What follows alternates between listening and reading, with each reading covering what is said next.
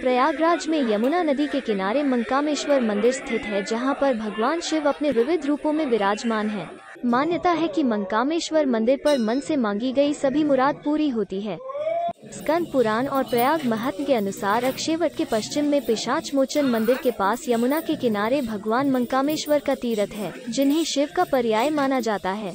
धार्मिक मान्यता है कि जहाँ शिव होते हैं, वहाँ कामेश्वरी होती है, अर्थात पार्वती का भी वास होता है।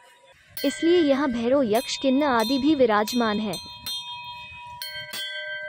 कामेश्वर और कामेश्वरी का तीर्थ होने के साथ ही श्री विद्या की तांत्रिक साधना की दृष्टि से यह बेहद महत्वपूर्ण है। मान्यता है कि यहाँ दर्शन, पूजन, जलाभिषेक करने से श्रद्धालुओं की हर मनोकामना पूर्ण होती है। इस मंदिर का पुराणों में भी उल्लेख मिलता है। साल भर यहाँ पर शिव के दर्शन, पूजन को श्रद्धालुओं की भीड़ रहती है।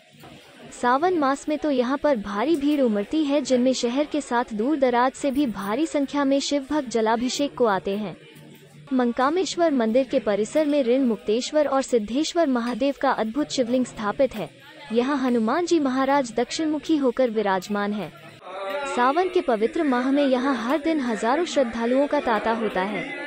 विशेषकर सोमवार प्रदोष और भगवान शिव पार्वती की आराधना वाले विशेष दिनों पर यहाँ भारी भीड़ उमड़ती है। शिव के दर्शन पूजन के लिए वैसे तो यहाँ पर रोज शिव भक्तों की भीड़ आती है, लेकिन सावन माह में श्रद्धालुओं की संख्या में खासा बढ़ोतरी हो जाती है। सावन के सोमवार प्रदोष और खास तिथियों व शिवरात्रि पर तो यहाँ तिल रखने तक की जगह नहीं मिलती है। भोर से ही शिव का जलाभिषेक करने के लिए भक्तों की भारी भीड़ जुट जाती है।